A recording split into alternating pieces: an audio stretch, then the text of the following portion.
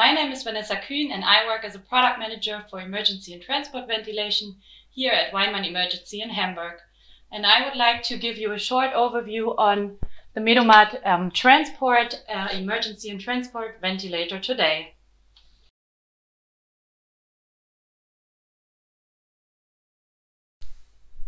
Okay, first I would like to show you the device from the outside.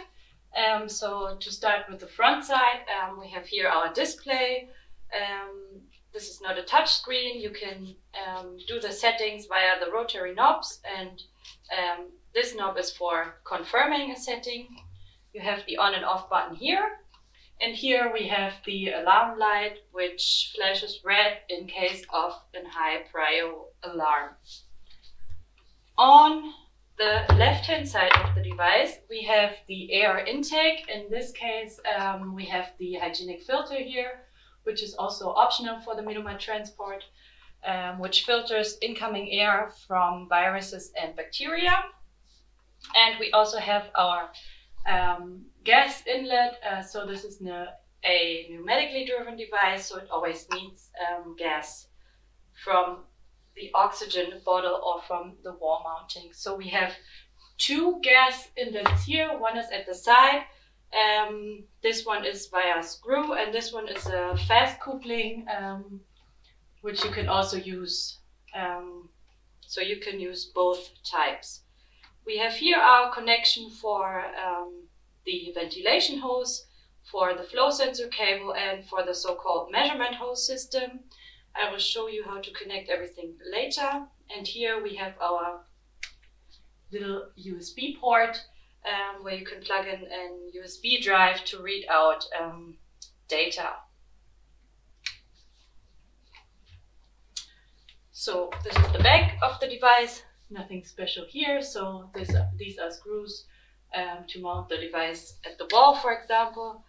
On the right hand side, we have our uh, rechargeable battery um, and our power connection. So um, if you want to connect the device to a 2020 volt power connection, just plug in here and then the battery is automatically charged. Obviously, if you have the device in an ambulance, the power connection is automatically done via the wall mounting.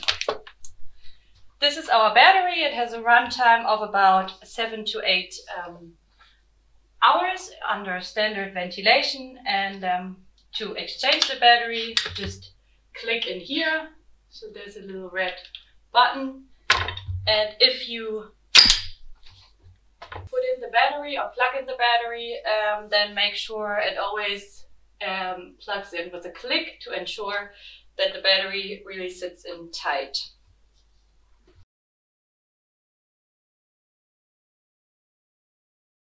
Okay, so um, now that I've explained the device from the outside, I'm gonna prepare it for ventilation. For this, I first start with my oxygen supply. So as I just said, you can either use this one with a screw, which takes a bit longer, or you can use the fast coupling, which is a special special type. We call it uh, type Walter. Just put it in here. And if you use this one, please um, make sure to, where's my cap? To use this cap here so that no air can come out here.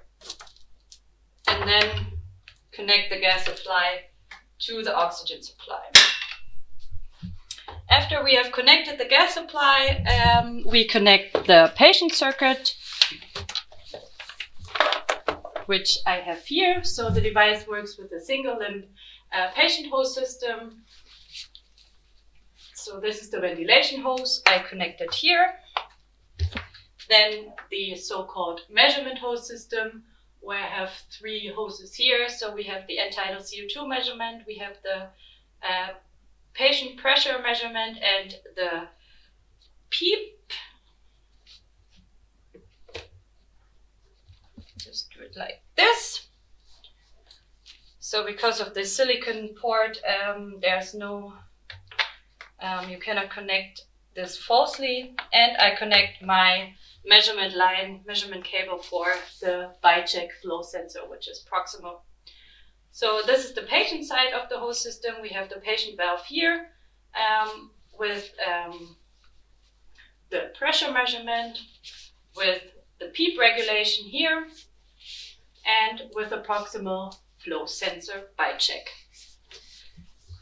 If you want to ventilate a patient, please make sure always to use a um, filter at the patient side of the device because um, the exhaled air is going into um, the ambience, so via this patient valve. So it is very important not only to protect the patient, but also to protect everyone um, around the patient to use uh, such a filter.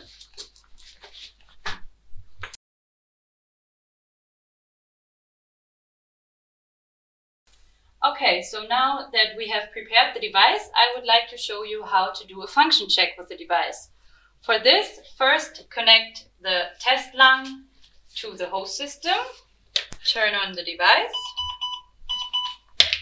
and then press function check. Check that the battery is tight and then start the function check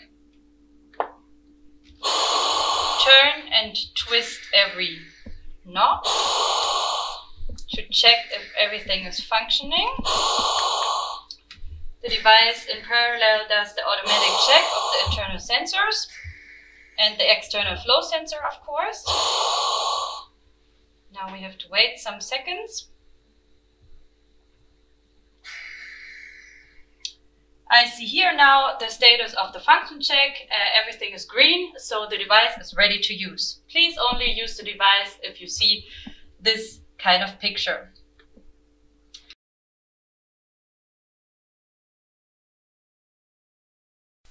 Okay, after we have done the function check of the device, I would like to show you now how to start ventilation. Um, first opportunity is via these emergency modes. Um, this is a very fast way to enter and start ventilation. We have pre-configured uh, settings here for these uh, three patient groups, infant, child, and adult. And um, I can start it like this, clicking on here, and then press enter. And right now we are in an emergency ventilation, IPPV in this case, so volume controlled ventilation, very fast, very easy, um, only for an emergency. Another way to start ventilation is via the previous patient. So only I can press previous patient and the device will start with the settings of the last patient. Um, a way to do a bit more specific settings is via the new patient. I will show it right now. I can either choose um, the three patient types here or I can go via height.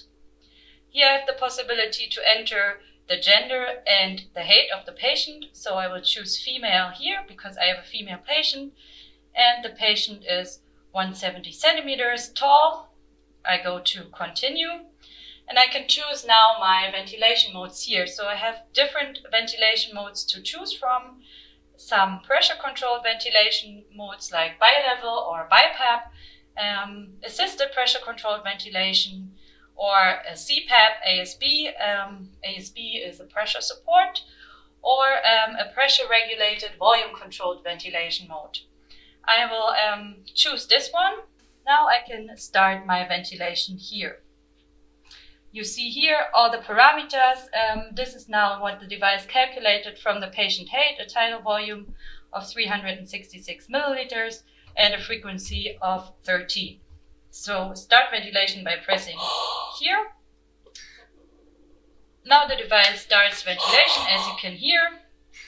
Um, here you see the ventilation curves. Um, in this pressure regulated volume controlled mode, the device needs two to three um, ventilations to find the right pressure for, um, for ventilation. Um, you see it here in the pressure curves, and also you see below the pressure curve the flow curve. Um, on the right hand side, you have all the measurement values, um, tidal volume, expiratory tidal volume, ventilation frequency. And here you have the settings of the device. You can always obviously change the settings, for example, the tidal volume. Um, make sure to confirm every setting with the white knob because otherwise um, the device will not take the change. Uh, on the top you have the status uh, line, you have here the battery status and also the ventilation mode which is shown here. And here you obviously see the alarms, in this case end-tidal CO2 alarm because we don't have a patient here uh, who exhales CO2. Um, here you have the possibility to do further settings in this mode, the pressure support or the trigger. And also here I can change my ventilation mode. What else? So what you have seen um, before, um, I press the alarm mute button. This button will mute all alarms for 120 seconds.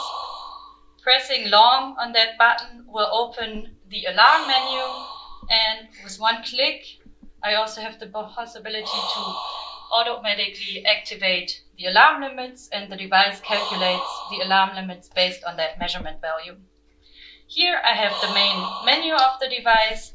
So here I also have um, an alarm um, limits menu. I have a curves menu where I can change my curves. So depending on if I have, for example, CO2 in the device, I can only change to three curves. Obviously no CO2 curve here. And I can also do more specific or advanced ventilation settings here and also some device settings or switch, for example, to night colors.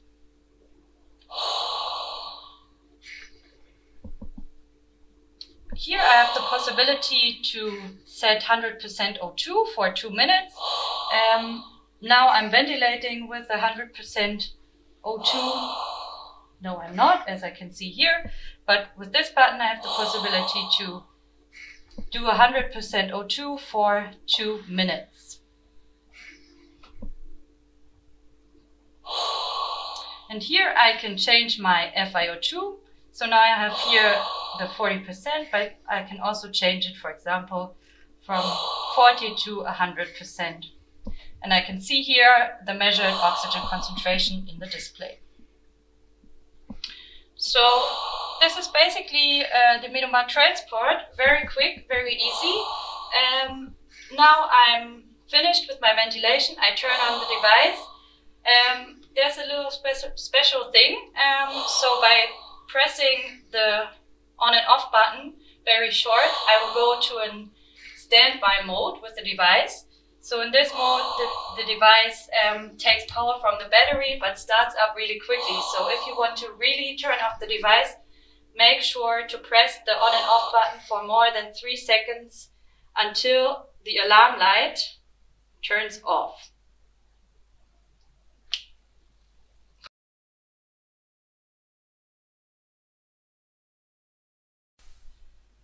Okay, so now I would like to show you very quickly um, how to deal with the device after ventilation. Um, for this, I disconnect the gas supply. I'm going to disconnect the ventilation hose system.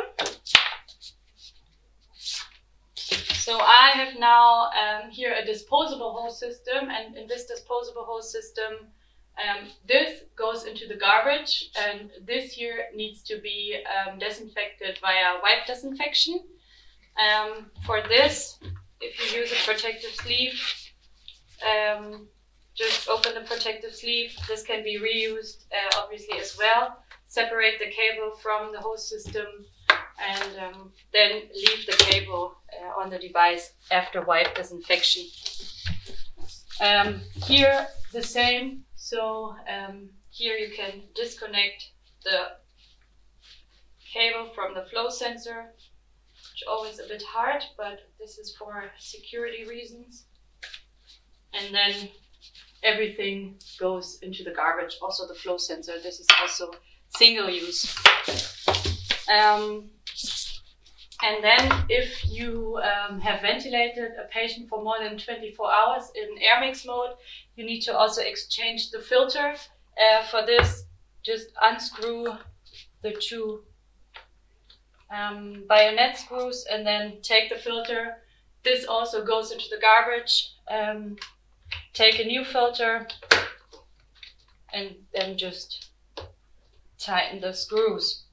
If you forget this, um, no worries, uh, the device will automatically um, remind you in the next function check to exchange the filter if you have used it for more than 24 hours in air mix mode.